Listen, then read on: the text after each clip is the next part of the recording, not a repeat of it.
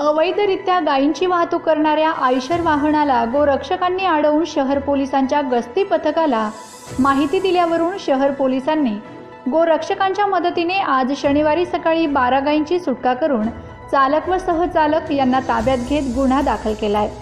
तालुक्यातील वाघाडी येथील गोरक्षकांनी सकाळी दहा वाजेच्या सुमारास शहर पोलिसांच्या गस्ती पथकाला माहिती देत अवैध गुरांची अवैध वाहतूक करणाऱ्या आयशर वाहनाला थांबवून ठेवले होते. दरम्यान शहर पोलीस ठाण्याचे गस्ती पथकाने वाघाडी येथे धाव घेत आयशर गाडी क्रमांक एम पी शून्य नऊ के ए ब्याऐंशी शून्य तीन वाहनांची चालकाकडे विचारपूस करीत तपासणी केली असता वाहनात बारा गायींना आखूड दोराने अपुऱ्या जागेत अत्यंत निर्दयीपणे बांधलेल्या स्थितीत आढळून आले.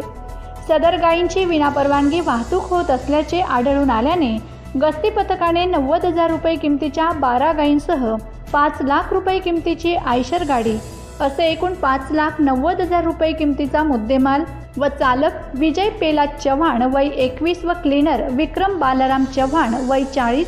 दोघंही राहणार मेहू तालुका जिल्हा इंदोर मध्य प्रदेश. यांना ताब्यात घेतलंय.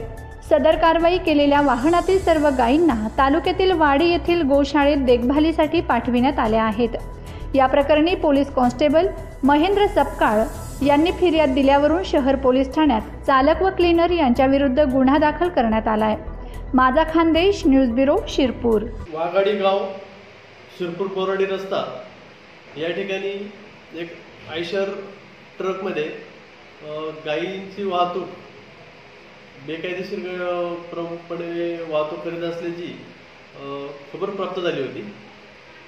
त्या अनुषंगाने पोलीस कर्मचारी पथकास सदर ठिकाणी पाठवून आयशर ट्रक क्रमांक M H zero nine K A ब्याऐंशी झिरो तीन. हा ट्रक ताब्यात घेण्यात आला. सदर ट्रकमध्ये एकूण बारा गायी मिळून आल्या. सदरच्या गायींना वाडी येथील गोशाळेमध्ये ठेवण्यात आले असून ड्रायव्हर आणि क्लीनर अशा दोन इसमांना पुढील कारवाई कामी ताब्यात घेण्यात आलेली आहे.